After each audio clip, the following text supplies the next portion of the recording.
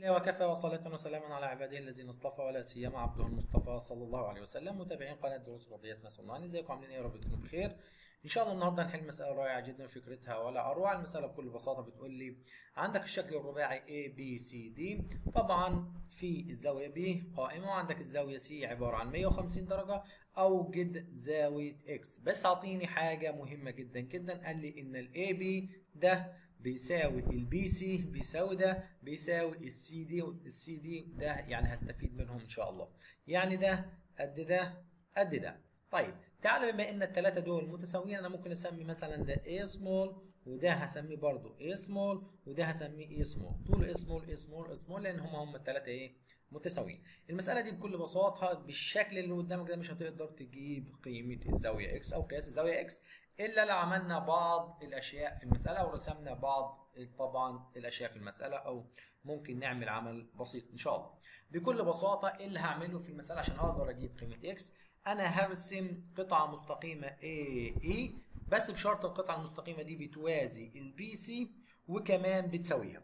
وبعد كده هرسم من ال C عمودي على ال AE اللي أنا رسمتها وطبعا بتوازي ال AB تعال نرسم ونشوف بعد كده هنوصل لإيه. رسمنا طبعا ال AE بيوازي ال BC وبيساويه يعني دي برضو اي سمول وبعد كده رسمنا ال CE عمودي على ال AE يعني قياس الزاويه دي 90 درجة. ركز معايا بكل بساطة. طبعا ده عمودي وبيساوي ده يعني ده برضو عبارة عن إيه هتلاحظ حاجة مهمة جدا جدا إن عندك A A A A يعني الشكل اللي قدامك ده عبارة عن إيه؟ عن مربع. تمام. ثانية واحدة كده بما إن ده الشكل اللي قدامك ده مربع إذا قياس الزاوية دي كام درجة؟ 90 درجة بكل بساطة. طب ما أنت عندك دي 150 يبقى الجزء اللي باقي اللي هي الزاوية الصغيرة دي عبارة عن إيه؟ عبارة عن 60 درجة. يبقى الزاوية دي عبارة عن 60 درجة اللي هي زاوية ECD.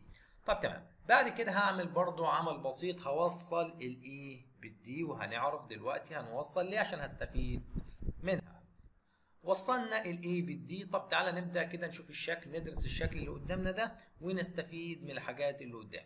بكل بساطة بص معايا على المثلث ECD المثلث ده ده كله. هل المثلث ده فيه حاجة مهمة جدا جدا؟ أنت لو ركزت فيها هتعرفها. هتلاحظ إن الضلع ده إيه طوله A والضلع ده طوله A متساويين. يعني المثلث اللي قدامك ده نوعه إيه؟ متساوي الساقين يعني إيه متساوي الساقين يعني معناها الزاوية دي كلها بتساوي الزاوية دي كلها. طب تمام. أنت عندك الزاوية دي 60 الزاوية الصغيرة دي 60 يبقى الزاوية دي كام والزاوية دي كام؟ دول متساويين يبقى بقى كام؟ ال 180 أنت أخدت 60 باقي 120 كده هتقسم ال 120 على الاثنين يعني معناها دي بقت 60 درجة. ودي بقيت كلها 60 درجة. ركز معايا دي كلها بقيت 60 درجة. طيب أنا استفدت حاجة تانية. إحنا كان الأول المثلث متساوي الساقين أصبح المثلث نوع إيه؟ تمام. بعض الناس قالت خلاص المثلث أصبح متساوي الأضلاع لأن ده 60 60 60 يبقى الضلع ده برضو هسميه إيه؟ قد الضلع ده والضلع ده.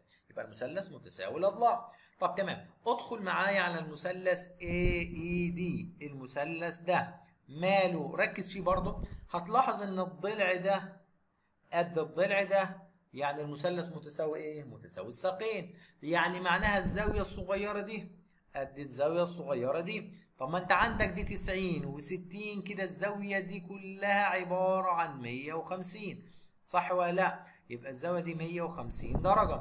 طيب ما المثلث متساوي الساقين. أنت يبقى المثلث ده 180 كله. اخدت منه 150 باقي كام؟ باقي 30 ال 30 تقسمها على 2 عشان الزاوية دي قد الزاوية دي عشان المثلث متساوي الساقين يعني معناها الزاوية دي بقيت 15 درجة والزاوية الصغيرة دي بقيت 15 درجة. ركز معايا انت عايز زاوية مين؟ زاوية إكس زاوية إكس اللي هي دي.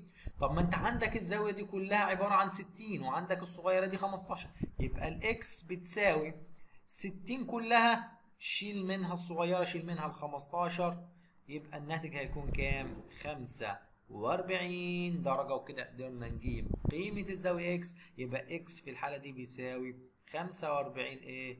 45 درجة بكل بساطة. مسألة سهلة وجميلة جدا وفكرتها بسيطة ورائعة جدا جدا جدا. بالله عليك لو استفدت ولو معلومة بسيطة من المسألة ما تنساش تدعمنا ب like وتقول لي إيه رأيك في الشرح نكمل ولا في مشكلة؟ وإن شاء الله استنوني. أنا ولد يسرى على قناة دروس رياضيات مصر أونلاين في مسائل جاية كتير إن شاء الله ومهارات كتير في الرياضيات. والسلام عليكم ورحمة الله وبركاته.